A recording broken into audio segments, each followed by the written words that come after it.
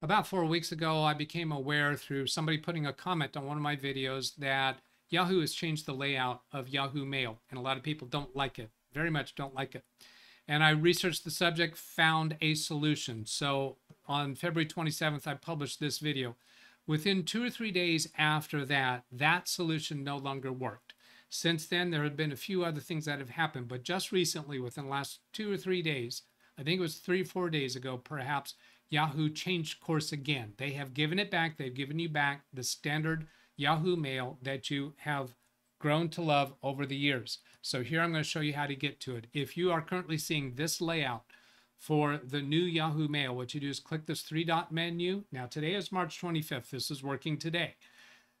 Click settings and then click over here, switch to old Yahoo Mail. Five days ago, that option was not there.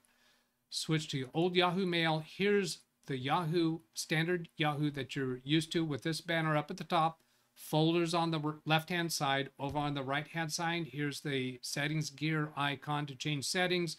You can click on one email and then shift click on another to select all the emails between those points. It is back. Now, they are still working on the new Yahoo Mail. See this message up here where it says coming soon and improved Yahoo Mail. By whose definition? Thank you very much. No. Less of the stuff you don't want, more control over the stuff you do. Now, maybe they will bring this back, the new Yahoo Mail, in a way that it works better. This Learn More button will show you things about what it's saying about why it's changing and what's not changing, what to expect on day one. They're not saying when day one is going to be at this point. Now, you can try it out now. You can go to the new Yahoo Mail if you somehow are the person who wants that. So you can do that here. You can also come back again to the standard uh, Yahoo Mail. You can do that over and over. You can also go to settings gear over here, click on more settings. On the left-hand side of the standard Yahoo Mail, there's this option now, switch to basic mail and then switch to basic mail on that button. And that takes you to the less usable or less feature rich Yahoo Mail. It doesn't, you can't do different things with fonts in the emails. You can't click on one email and then shift click on another.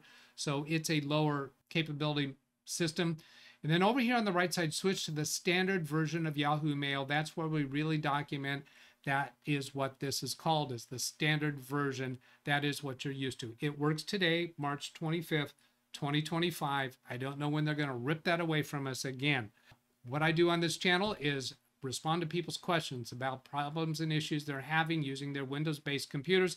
You can send an email to the address that's on the screen right now. Myself in the chat room will respond during a live stream. I will reply to your email with a timestamp to the point in the video where we responded to your question.